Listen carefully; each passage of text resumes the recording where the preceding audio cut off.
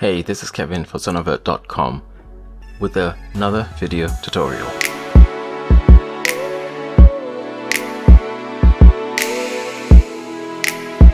In this one, we are looking at how to install VST plugins in Audacity. Open up Audacity and go to the Effect menu. Choose Add Remove Plugins, which brings up the Plugin Manager. Sort by path scroll down and you should find a whole bunch of plugins already installed. These will be in some kind of Audacity plugins directory and this is where you need to drag your VST plugin. Usually it's going to be some kind of .dll file. That is how VSTs work. They are .dll files, dynamic link libraries. These files tell Audacity how to make the thing work.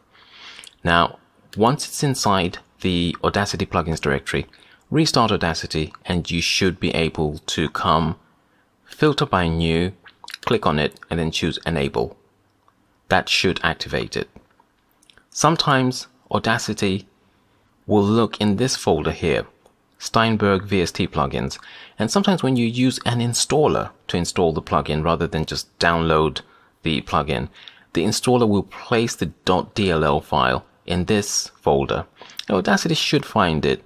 And once again, if you sort by new, you should be able to find the installed uh, VST plugin. Again, just hit enable and then you should be able to find the plugin in one of two places. Either the analyze menu, which is unlikely, or more likely under the effects menu. The effects menu is very long, so you may need to scroll down. Occasionally, you want to go to the effects menu and once again go to the plugin manager and disable some of the plugins that you're not using. So choose enabled and disable things that you're not using so that you clean up the menu. And that's basically how you work with VST plugins in Audacity in Windows. Windows Audacity likes the 32-bit versions of the plugins. That's another thing to really try to remember.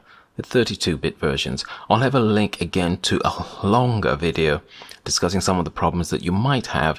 And if you do have problems, do click on that link. It will show you how to fix your stuff.